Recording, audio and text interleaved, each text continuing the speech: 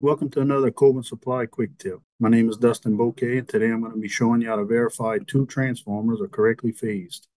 Ruud's new RD17AZ universal heat pump can be used in all sorts of different applications. It comes equipped with its own onboard transformer so it can be hooked to legacy equipment with just two wires. If it's connected to a matched Ruud communicating EcoNet system, there is now a transformer in the outside unit and the inside unit. Both transformers are used to power control boards that provide communication on the EcoNet system.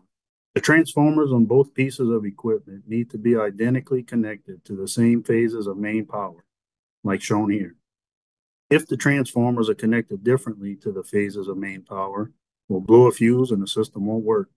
We see here the transformers are connected differently, so if we power this one up, we'll blow a fuse. We have a 50-50 shot of getting it right, so we need to verify it before powering up the system with all our wiring connected. We can verify the transformers are phased correctly with the meter. We need to verify this before connecting our communication wires E1 and E2.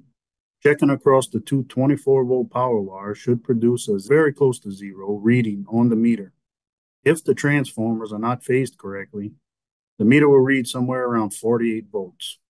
This would indicate we need to swap the L1, L2 main power wires at the outdoor unit.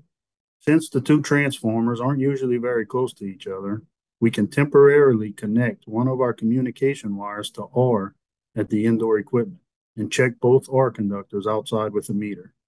We power up both pieces of equipment and take our measure. Again, at this point, there shouldn't be any other control wires connected between the equipment. The 24 volt R can be found on the control board in the outdoor unit labeled as R. If 48 volts is found, we need to power down the equipment and swap the L1 and L2 shown here.